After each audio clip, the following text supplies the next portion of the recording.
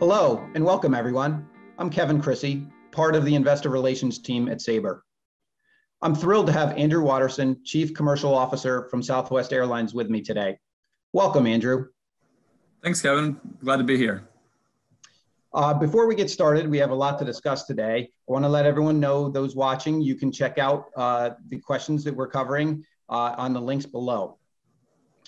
Andrew, um, maybe you could start by talking about how Southwest is dealing with the COVID, how you've managed through the COVID crisis. It's obviously been the biggest uh, impact in the industry's history. Yeah, it, obviously we've had a lot of ups and downs with COVID. And so what we've been focused on is in the short term, managing our business in like 30, 60, 90 day chunks. We can understand where demand is and what the right level of capacity we need to deploy against that demand for you know the best financial outcome with an eye towards getting to you know, cash burn break even, you know, as quickly as possible.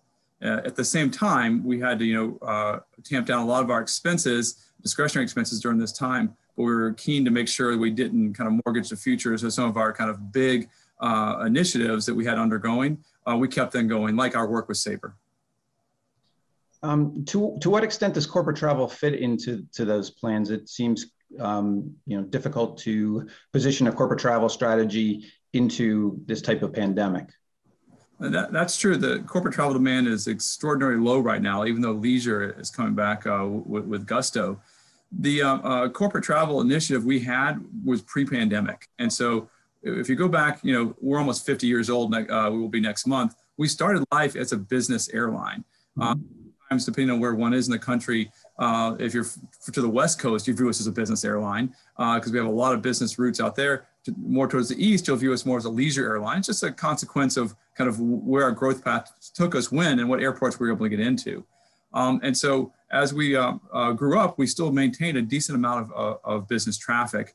And so uh, as we saw what we had done with our direct distribution strategy over the years, we saw that we were leaving money on the table. And so we needed to uh, kind of professionalize and change our corporate sales focus so that we could uh, kind of meet the customer where they were. And so we set up a, a, an initiative which involved you know more headcount, uh, technology investments, and, and new uh, procedures to be able to tap into the corporate market, especially for the largest corporations pre-pandemic.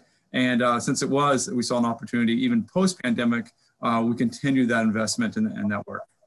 How, how long ago did that start, Andrew? How, did that started about, pardon me, that started about three or four years ago. Uh, Dave Harvey, who's our Vice President of Southwest Business, um, he's been a Mr. Fix-It in a lot of different areas of the company. And so we, we put him in charge of this and said, uh, take what was there, which was quite successful, but it kind of reached it, its level of, of peak performance given the investment we put into it. We wanted him to bring it to the next level. And so he set about, you know, surveying the marketplace, talking to our customers, and then came forward with a proposal for investment uh, for people and resources and, and technology uh, to, to execute on that. And he's been doing that for a couple of years now. We've been really pleased with it.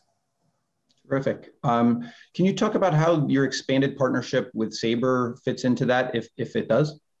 Yeah, so um, we've been doing business with Sabre for a while um, and across multiple different uh, uh product lines. And we had a, a basic participation in their, in their GDS, um, which uh, serves some purpose, but it created a lot of friction. We, we felt like that uh, uh, for the largest corporations, travel is kind of um, uh, one of their purchase services, and they don't spend a lot of time thinking about it. And they have their standard processes and and and, uh, and technology they want to use to book travel. And since we were doing our own way, they would only use us kind of you know when necessary, when there's really no other choice. And and and when there was choice, that we were too much of a hassle to do business with.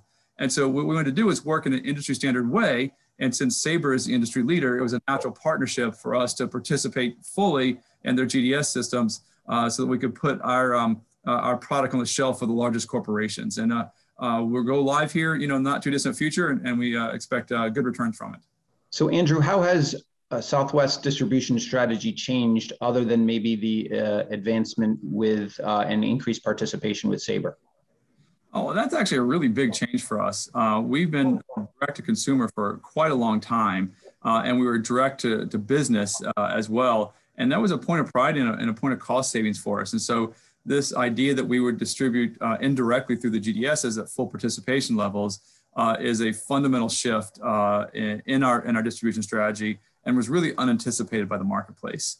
And so uh, this, I think, is a, uh, a big opportunity for us and for the GDSs because we're kind of going the opposite way from a lot of airlines. a lot of airlines distribute indirectly or in trying to push up their direct.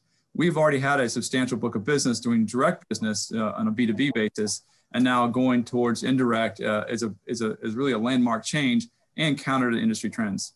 Yeah, I can under, I can see that. How do you see the distribution landscape changing over the next few years um, for both for yourself and maybe just more structurally? Well, we obviously will continue this play we have with uh, going through the GDSs and, and working uh, in a more you know collaborative manner with the TMCs. Um, but people have been predicting you know you know earthquakes in the distribution business for a while, and and really we see just incremental change. Um, you definitely see some more uh, technology options coming into the marketplace, uh, and you see the uh, NDC came in with uh, with plans for you know or promises for for big changes, and really it looks like it's led to incremental changes for uh, improvements on how to distribute uh, you know ancillary revenue and such. So I would think we would see this continued you know technology progress. But I don't anticipate kind of a, a, fundamental shift in the in the industry in like in a short period of time. Just just continuous improvement, if you will. Uh, thanks. Uh, you, you, mentioned uh, uh, Dave, um, and he did an interview a while back with Hunter Keay, um, and he mentioned that he thought there'd be fewer TMCs in the future, but they would have increased relevance. Is is is that your view? And if so, um, can you can you talk about that? Certainly. So what Dave was talking about, there's there's two trends going on that, that lead to that answer. The first trend is that um, uh, TMCs consolidating. We see the largest TMCs buying regional or technology uh, uh based TMCs. And so uh, uh, a trend of consolidation would likely continue. And that means, you know, fewer larger ones, as Dave mentioned. And then as far as being more important, I think that that's a big learning we had from, from COVID. Uh, corporations count on their TMCs for duty of care, reporting, cost savings, and lots of different uh, um, mechanisms that are more relevant now than they were pre-COVID. So the idea that TMC would go away seems to fly in the face of our recent experience uh, and the consolidation, uh, which continued during during COVID. Uh, it seems like those two trends come together. Today's point of view of you know uh, fewer, bigger, more important TMCs. Yeah, thank you. Um, maybe switching gears a little bit, uh, can you talk about personalization in successful retailing and distribution, and where where that might be heading? Yeah, certainly. You know, we are a bundled carrier, and so we don't make as uh, big a use as perhaps some of our competitors do. We have a bundled product. Now we do uh, look for personalization in our communication with our with our customers, both in uh, you know offer management as well as service delivery and service remediation. Um, but we only give a, a, kind of handful of ancillaries uh, that customers kind of are you know want to buy, if you will. We don't take the approach of pulling stuff away and then reselling it back to the customer. And so therefore, we're not pushing as hard for that personalization customization as some other carriers might. But knowing that we're the outlier, that certainly is a trend for a lot of distribution is to be able to manage add-ons better than you know was done 10 years ago. So I think that trend will continue. You'll just see us as a, as a kind of below average number of, of uh, ancillary items, but the ones we sell will be high quality and high adoption by customers. We think that ends up to a higher revenue performance at the end of the day. Terrific, thank you. Um, how how has the COVID nineteen pandemic changed your tech budget uh, generally, if it has at all? Well, certainly with all of our expenses, uh, we had to you know manage them down very tightly during COVID, and that included uh, uh technology. Uh, a lot of it was we we did not start uh, efforts we had not yet begun. we have a you know a whole host of continuous improvement type stuff we could kind of easily pause, but some of the more structural ones that we counted on for uh, multi-year benefits and have been underway, it was actually you know lower cost over the horizon to keep doing them. That included uh, some work with uh, uh ETOP, some work with our maintenance systems, uh, and our work with Sabre to, to put in place the, the, the um, uh, GDS participation that will go live here in the near future. And so that was important to us because we had the financial wherewithal to keep to maintain that, that we not mortgage our future. And so I think that worked out well for us, but it certainly depressed our tech budget during COVID um, and then as we evaluate coming out of COVID, we'll look and uh, as we do every year, we rack and stack and look at what we, our budget can afford and therefore what uh, initiatives will we fund for that year. That'll come up here in, in October and we'll decide, you know, what we're going to do in 2022. And I guess as part of a tech budget these days, it, you know, you have to talk about artificial intelligence and machine learning. Um, or at least many people are. Uh, would you be able to talk about how that fits in for the industry and, and how Southwest may or may not use AI and ML uh, today and in the future? Well, we view that as, as a tool in the toolbox of our business leaders and, and our tech leaders. And we have some departments uh, who've been using them for a while. And so it's embedded in their departments. You might think about revenue management or marketing and uh, network planning and stuff. And then we also have a centralized resource in our strategy team provides kind of that service out to departments who are newer to that. Uh, say an accounting department that, that, may not have that embedded and would like to use the central resource. Um, and that's the way we kind of roll out our continuous improvement with black belts and such. We're doing the same thing with, with AI and machine learning. We have a, a central pool of data scientists who do projects and kind of help teach departments how, how to properly use it. And so it just becomes a tool in every manager's toolbox to use the proper uh, um, uh, the, the, the, proper problem. You know, I will say that you think of any initiative uh, in our company and probably in corporate America, um, it involves a technology aspect. It's really hard to have an improvement initiative that doesn't have technology in it. Yep. And it's got technology, it's probably got AI and ML uh, these days. So this is kind of part and parcel of, of doing business. If you were thinking about the benefit of AI and ML and how to kind of put it into the revenue camp or the cost savings camp? Is it 50 50? Where, where would you think that the benefit comes? Is it more on the cost side or the revenue side?